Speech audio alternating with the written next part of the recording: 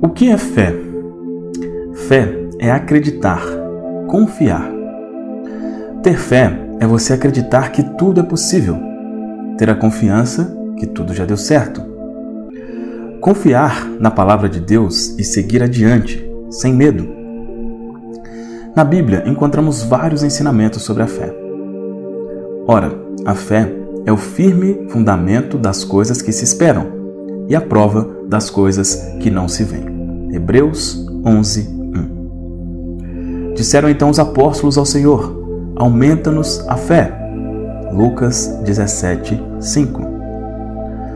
Logo, a fé é pelo ouvir, e o ouvir pela palavra de Cristo. Romanos 10, 17. Justificados, pois, pela fé, tenhamos paz com Deus, por nosso Senhor Jesus Cristo. Romanos 5, 1. Mas o meu justo viverá da fé, e se ele recuar, a minha alma não tem prazer nele. Hebreus 10, 38. Imediatamente, o pai do menino, clamando com lágrimas, disse: Creio, ajuda a minha incredulidade. Marcos 9, 24. Já temos o conhecimento de que tudo foi criado a partir da palavra. No princípio era o Verbo, e o Verbo estava com Deus, e o Verbo era Deus. João 1, se tudo começou pela palavra, a existência de tudo veio pela palavra e somente depois se materializou. Jesus é definido como o poder e a sabedoria de Deus. Tudo o que acontece em sua vida houve uma direção, um acompanhamento. Você foi guiado pelas mãos de Deus. E você é guiado e protegido o tempo todo. Para todas as suas preces, sempre recebe as respostas, mesmo que muitas dessas vezes não perceba como resposta. Estamos cercados por guias nos direcionando, ora para o bem, ora para o mal.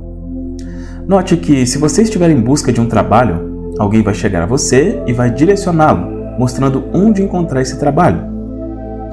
Comece a perceber respostas em sua vida, a todo momento. E sabe aquele objetivo que você está focado? Tenha fé, pois você já estava sendo direcionado para encontrar com seu objetivo. O poder criativo do universo está dentro de você. Basta uma palavra para tudo se manifestar da forma como você desejar.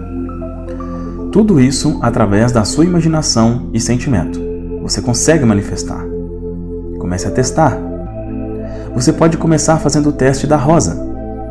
Visualize que você está neste momento segurando uma rosa nas mãos. Sinta o perfume. Veja as gotas de orvalho sobre essa rosa. Observe cada detalhe do seu caule e folhas. Com o poder de sua imaginação e visualização, você é capaz de materializar esta rosa, da mesma forma como você a visualizou. Eu fiz esse teste e vejo o que aconteceu. Em uma de minhas palestras, uma senhora chegou a mim com uma rosa vermelha nas mãos, me oferecendo para usá-la na lapela do meu terno. Deus é onisciente, onipotente e onipresente. Ele está conosco a todo momento e utiliza as pessoas nos momentos certos para nos direcionar. Essa senhora que me deu a rosa foi também direcionada por Deus para trazer o que visualizei. Em tudo o que existe, enxergue Jesus. Observe como tudo está interligado. Naquele dia eu fiz a visualização. Por outro lado, aquela senhora colheu as rosas em seu jardim, e uma dessas rosas veio para as minhas mãos através deste teste que fiz com poder criativo. Você também pode fazer o poder criativo mora em você, mora em cada um de nós.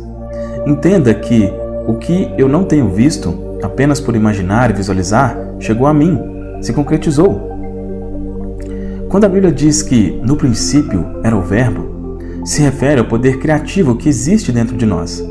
E você pode também transformar sua vida através do poder da criação. Comece pela palavra, sua imaginação, visualização, sinta que já é real e receba. O poder criativo que está em você é o próprio Jesus Cristo.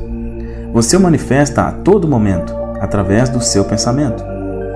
Estamos neste mundo para evoluir. O objetivo é sermos cada vez mais Jesus. Temos a partícula divina dentro de nós. Eu disse: Vós sois deuses, e todos vós, filhos do Altíssimo. Salmo 82, 6. O que desejo dizer a você é que tudo o que desejar, um emprego novo, uma família feliz, mais saúde, visualize o que você deseja.